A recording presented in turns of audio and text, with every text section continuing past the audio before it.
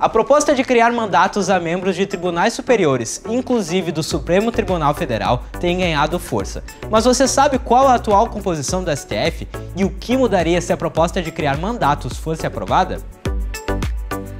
Então veja agora o ranking da atual composição do STF e o tempo no cargo em 2023.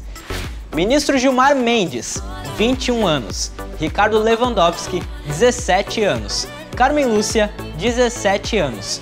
Dias Toffoli, 14 anos. Rosa Weber, 12 anos. Luiz Fux, 12 anos. Roberto Barroso, 10 anos. Edson Fachin, 8 anos. Alexandre de Moraes, 6 anos. Nunes Marques, 3 anos. E André Mendonça, 2 anos. Atualmente, o mandato é vitalício com aposentadoria compulsória aos 75 anos.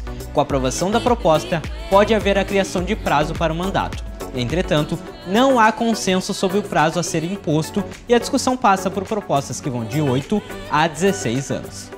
E aí, se interessou por este conteúdo? Se quer mais informações e conteúdos, já sabe. Se inscreve aqui no canal da Verbo, curte e compartilha este conteúdo com mais pessoas. Te espero no próximo vídeo.